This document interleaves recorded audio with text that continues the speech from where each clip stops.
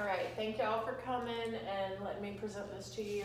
Um, this is my signature project. Um, I started it like a couple years ago, um, when I first started getting my master's. Um, and we had to pick a, um, sort of like an issue or a problem going on at our school, and then we had to, you know, do research and things like that, and come up with some kind of improvement plan. Here we go. All right, the overall goal for my project is to determine the effectiveness of specialized instruction in a resource setting versus the effectiveness of an inclusive model of teaching in the general education classroom as it relates to special education students' achievement data. Um, and this information can potentially help my school choose the best instructional model to promote the success of special education students in the general education classroom. So that was my goal, to see which type of setting um, worked better for um, our SPED students as it relates to achievement data.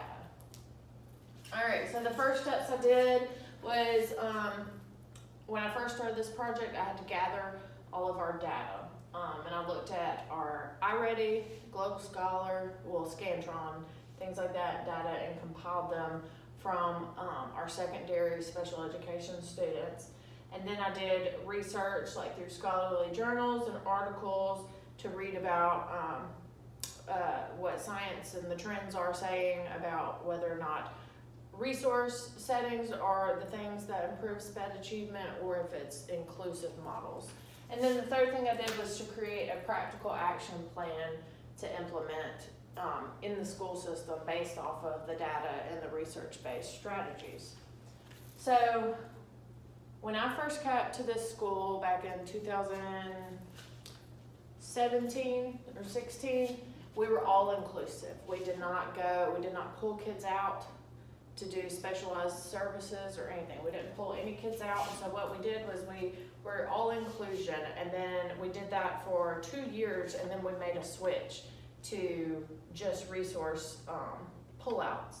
And I was very interested in seeing which model did the best. All right, so this is uh, real data from our school, from our SPED students. Um, and I made this graphic. Let me get all the rest on there. All right, so in previous years, our school system promoted inclusion classrooms with a co-teaching model.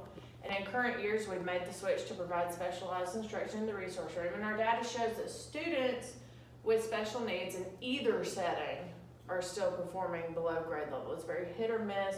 77% of our SPED students are performing below grade level. Um, around 67% um, of special needs students are performing at least two grade levels below average in math, and 70% are performing at least two grade levels below average in reading. So that 5%, um, and this is based off of a sample of, you know, 50 kids. Um, and so something I noticed is if we just improve five children's scores, this number goes up dramatically. But that was my real question is why have we not shown progress in either setting? Um, and the questions that came to my mind were, was, was it because of the way we were doing inclusion? Um, were we pulling out at the wrong times? Things like that. My, my questions in my head were going crazy. All right, and here's just another graphic um, that I made. This is from 2017 to 2019. We had a huge drop we go up, and then in uh, more current years, it continues to do the same model, up and down, up and down.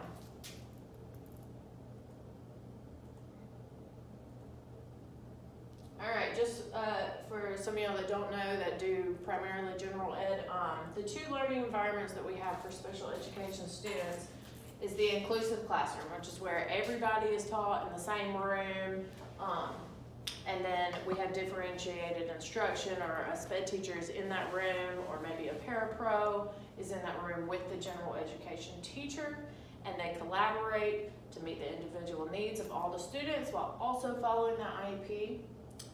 The second setting would be um, where we pull out, the special education teacher pulls out of that general education classroom um, to provide that specialized instruction in a small group resource setting.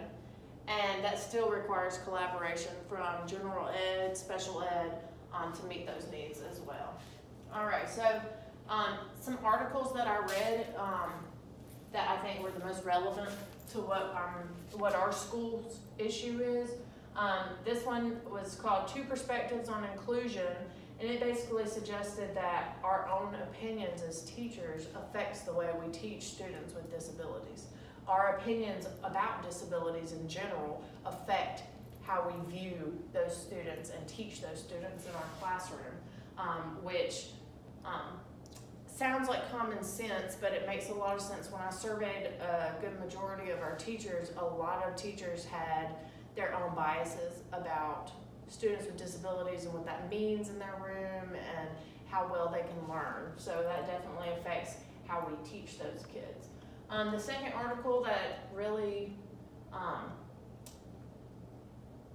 aligned with what our school needs or what our school was lacking was this one, and it suggested, it's called Meeting the Needs of Special Education Students in the Inclusive Classroom. And it suggested that a lot of the general education teachers felt unprepared to meet the needs of their students in the classroom. Like if there's a diverse need or this kid needs this on this level, this kid is hearing impaired, this kid has ADD and needs to move, that there was just too much going on and they felt unprepared. Um, and that was a trend in our school as well um, with the surveys that I gave out. The last thing um, that really aligned with the issues that we had at our school based on teacher surveys was um, the lack of cohesiveness and roles. Um, when that special education teacher comes into your classroom, um, the roles and responsibilities of each teacher was not fully understood.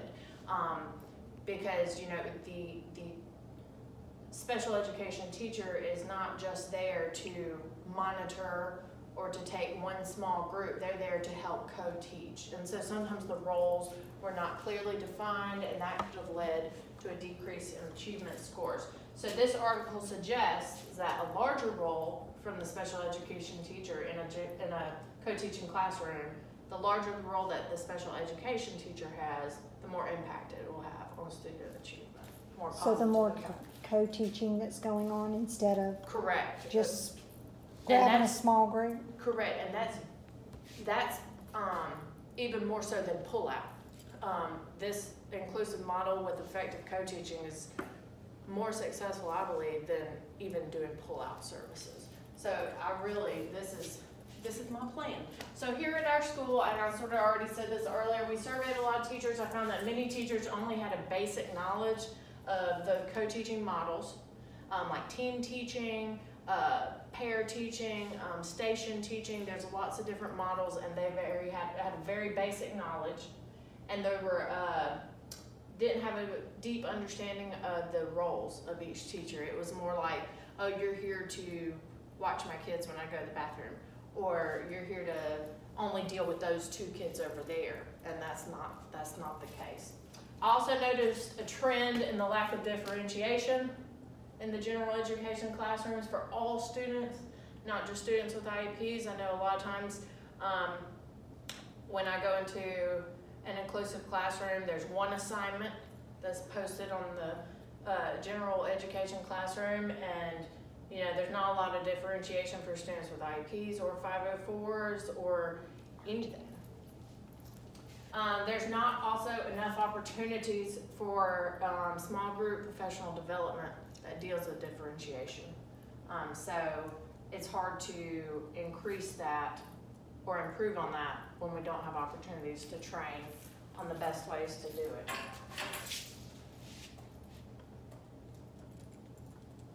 All right, so based off of research, these are three techniques that all teachers can use in their classrooms to promote learning growth. This first one is the four M's, and it's just meaning that all lessons should be manageable, measurable, made first, and most important. The four M's. The lesson objectives should be designed collaboratively with all the criteria in mind. That also includes IEP goals. I know our special education teachers, we uh, always make sure our goals are based off of like manageable, realistic, and measurable things. Um, that's how lessons should be, and that's how the work should be that's given out. to everybody, and that will help differentiate. Format matters. You can differentiate by allowing students to respond in a format that communicates the worthiness of their ideas. This can maximize the student's learning potential, so don't get caught up in the way that you want them to do it versus the way they want to show that they learned it. Um, that's a that's a great way to differentiate. It doesn't just have to be in the instruction part. It can be in the assessment part. And then also in the classroom, you should create a culture of error, which um, means students feel safe to raise their hand and say a wrong answer, and they're not made to feel any type of way about it. So um, they're able to make a mistake, discuss their mistake, so more time is focused on fixing the mistakes. Regardless of the learning environments, they need to feel comfortable in order to learn.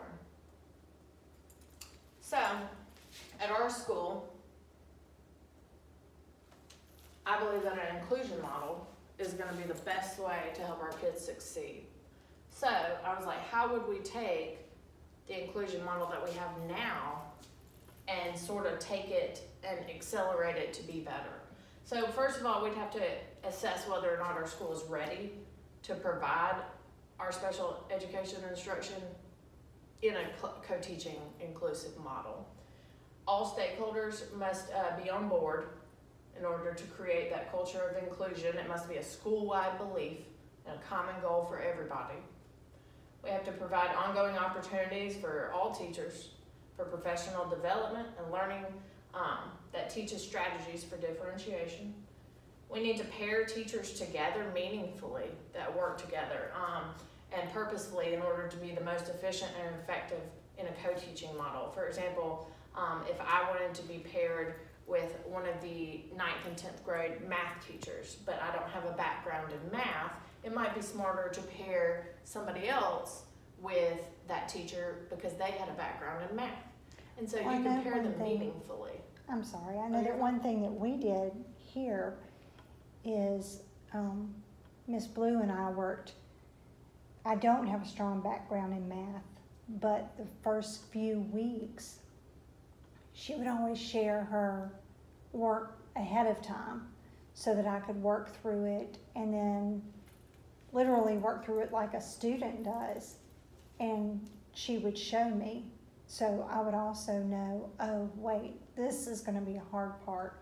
So things like that. That's right. I know when I was paired with the upper level math teachers, I'd go home and watch YouTube videos um, to figure out how we were going to do this the next day or how I could teach a different strategy. So just more um, meaningful pairings will work together, like people that mesh well together and have the same common goals, and that'll help increase student achievement.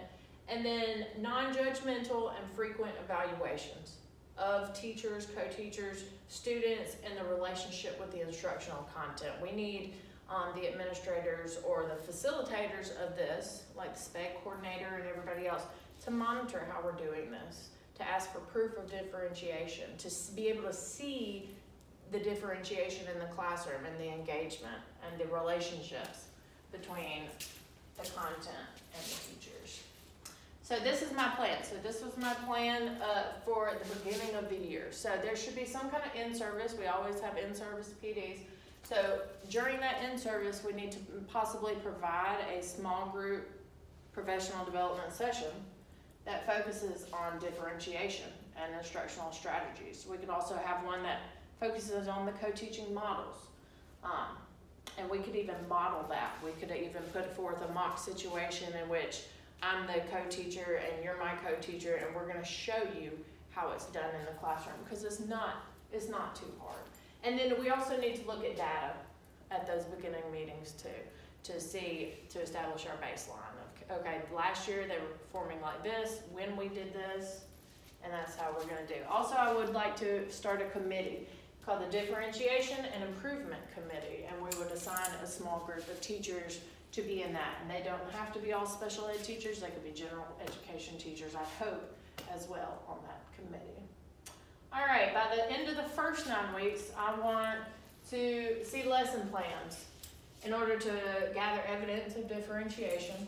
Um, that way we could uh, provide support for those that don't know how to do Um, if a general education teacher or any teacher is struggling with how to show it or how to give it, we can offer them support.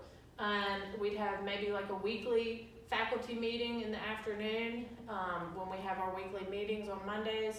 Maybe have a portion of that focused on, um, our differentiation, our superstar teachers can model the situation like, oh, well, this is what I do.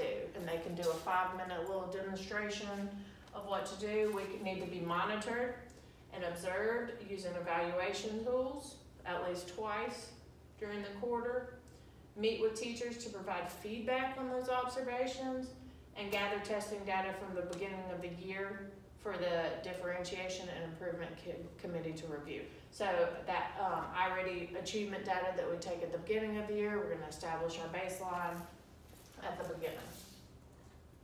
All right, by the end of the second nine weeks, so we're getting to the end of Christmas.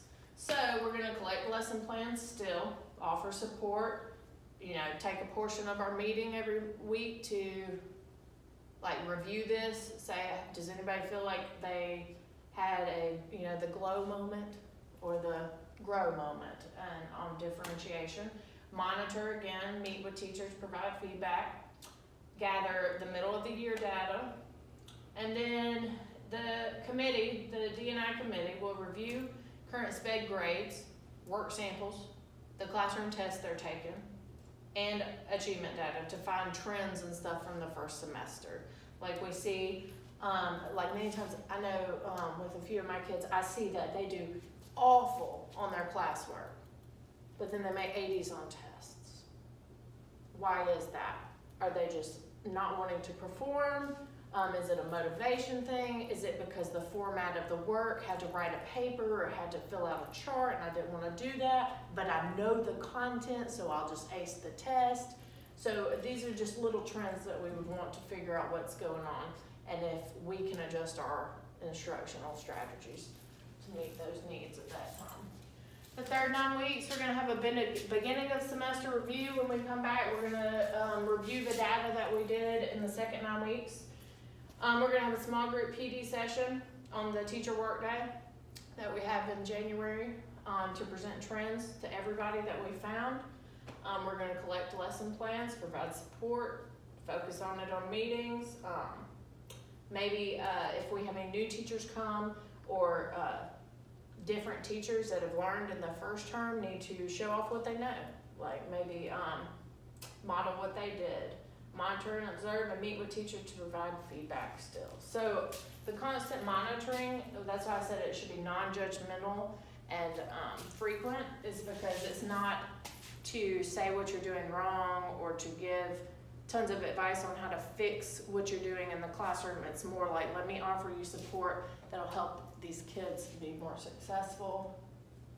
All right, in the fourth nine weeks and end of the year, we're still gonna collect those lesson plans, talking about it in meetings, monitor and observe. Um, we're gonna gather that end of the year testing data from iReady. And then we're gonna present it from the whole year. The D&I committee will sit down and say, okay, this child showed this much growth. This child didn't show any growth. This child went up five points. And like I said, just a, just a small improvement in about five or six students. That's all it'll take for our numbers to drastically change from that first graphic. Um, and go more, way more in the green than in the red. Um, and then we can present it to the faculty, staff, and board representatives to show off our growth. Um, and then what we'll do is we'll say, well, look, what we've done to differentiate, what we've done to co-teach, what we've done in this inclusion model is working.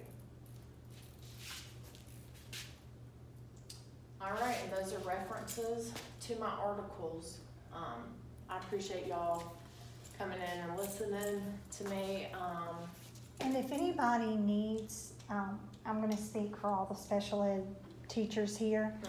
Um, but if any of the general ed teachers need an example of how to differentiate an exam or a test, um, they can always bring their test to us prior to the, prior to them giving it. And we can, we can do some adjustments to it, such as the things that we most commonly use with, you know, decreasing the answer choices or giving a word bank or, you know, shortening how many questions relate to one standard.